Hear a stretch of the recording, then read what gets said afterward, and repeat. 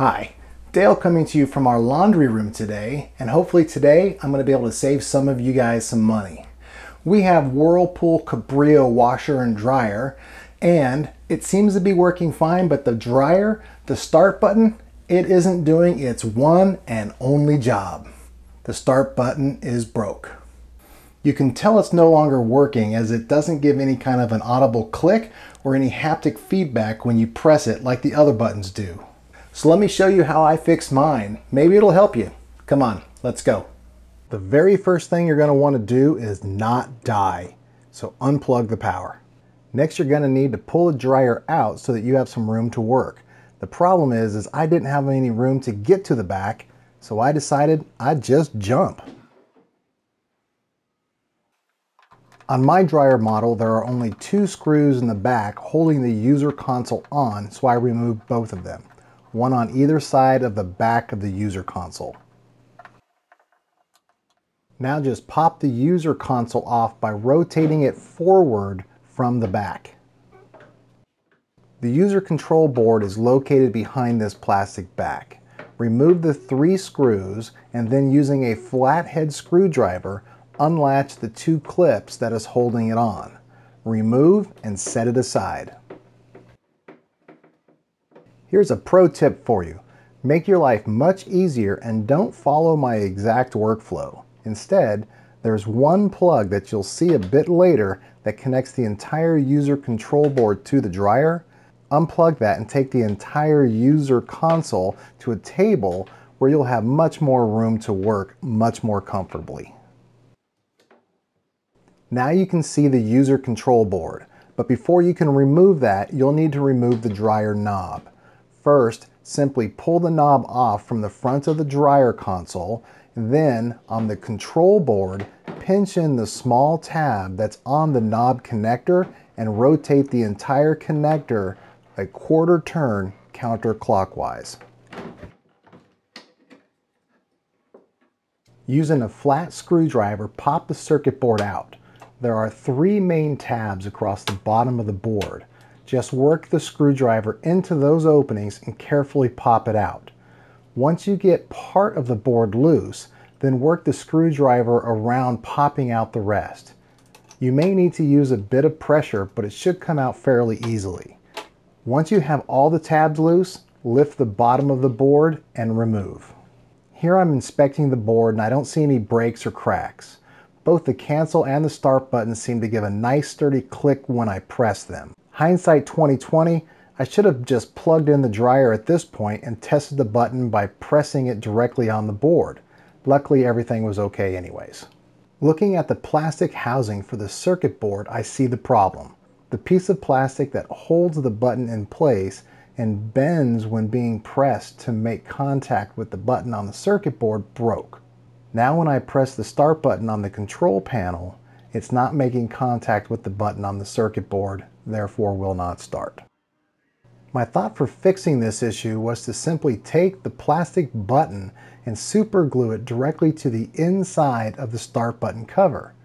When I press the start button on the control panel, it would cause the plastic button to move in and press the button on the circuit board. At least, that's what I thought would happen. Turns out the button on the circuit board does not line up with the plastic button. It's offset. So I used a small piece of a paint stir stick, drilled a hole into it to fit over the button, and cut a notch into it to fit into the space.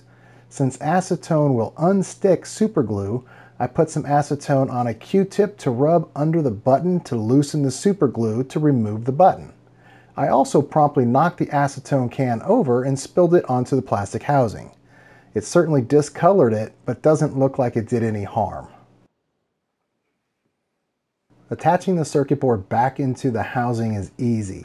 Simply put it in at an angle to seat below the tabs at the top and then snap it down into place. Now it's just reversing the order of everything I did to remove the board earlier.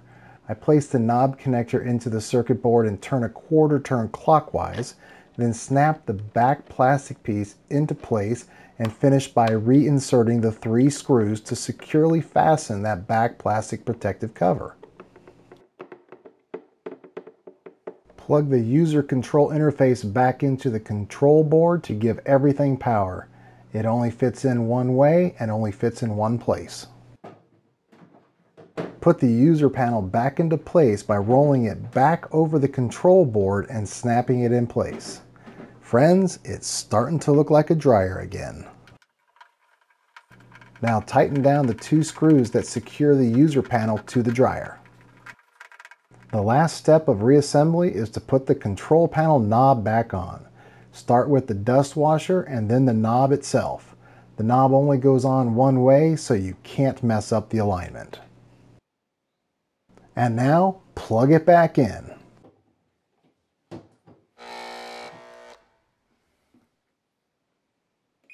Nothing is done until a final successful test. Oh yeah, no more wearing wet underwear for me. Hashtag, no more wearing wet underwear. So there you have it. One dryer, one fixed. And no, you don't need to fix anything on your viewing device. My legs really are wider than the dryer. I'd rate this probably at about a 2 out of 5 on difficulty. The most difficult part really was just working in a confined space. That was probably the hardest part. Other than that, really was not too difficult. I did tear the cover to the start button a little bit, but that's not a big deal. In reality, I don't think I even needed to super glue that back of the button in as the circuit board fits pretty snugly and I think it would have held everything in just fine. This saved me a lot of money. I would have had to call a repair person, have them come out, make me buy new parts, and then install them. Probably would have been several hundred bucks, maybe even approaching the cost of just buying a whole new dryer. This way, really didn't cost me anything, just but a little bit of time. If you liked the video, hit the thumbs up, give me a like. If you didn't, hit the thumbs down, but do me a favor and put a comment in and tell me why you don't like it. Helps me out a lot. I'll make better videos next time that maybe you will like. Leave a comment below if you think there was a better way to do something. I always appreciate constructive criticism. Not a problem at all. If you haven't yet subscribed, I'd appreciate it if you would. If you think this video would help anybody else you know, go ahead and hit the share button so that they can see it as well. Anyways, until next time, See ya.